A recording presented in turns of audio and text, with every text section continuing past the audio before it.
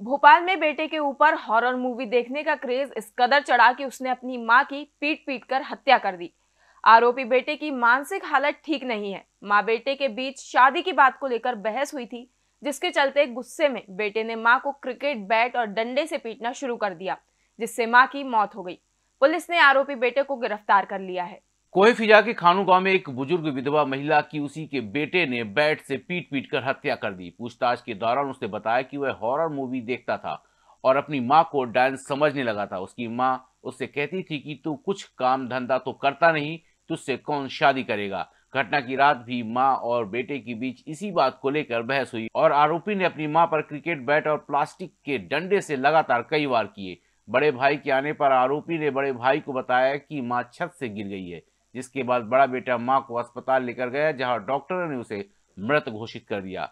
Police के मुताबिक आरोपी हॉरर मूवी देखने का आदि था और उसने इस घटना को अंजाम देने से पहले भी कोई हॉरर मूवी देखी थी।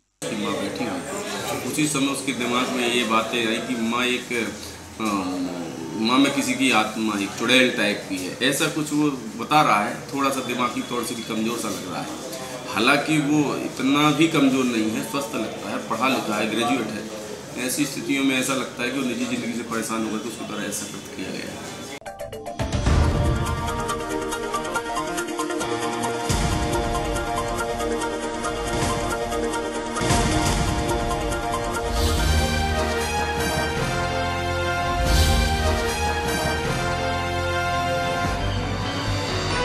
आप देख रहे हैं दखल न्यूज़